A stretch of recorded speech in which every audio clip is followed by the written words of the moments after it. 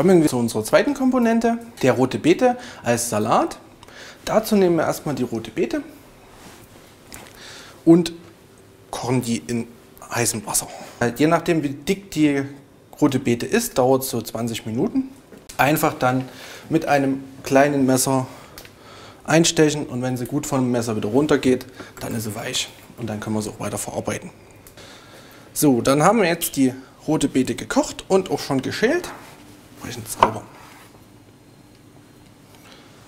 So, dann machen wir die hier in so grobere Würfelchen. So. so, dann fügen wir noch eine, ein paar Zwiebelwürfelchen dazu. Da habe ich mir jetzt die weiße genommen, damit wir ein klein wenig Farbspiel in dem Salat drin haben. Die färbt zwar dann noch rot nach, aber die rote Zwiebel hat ja an sich schon die Farbe von einer roten Beeteknolle.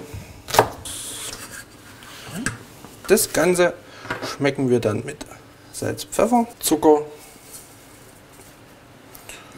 und Essig ab. Das lassen wir durchziehen und dann ist das auch schon unser Teil 2. So, kommen wir zur Komponente 3. Das wird unser Matjes-Hackerle.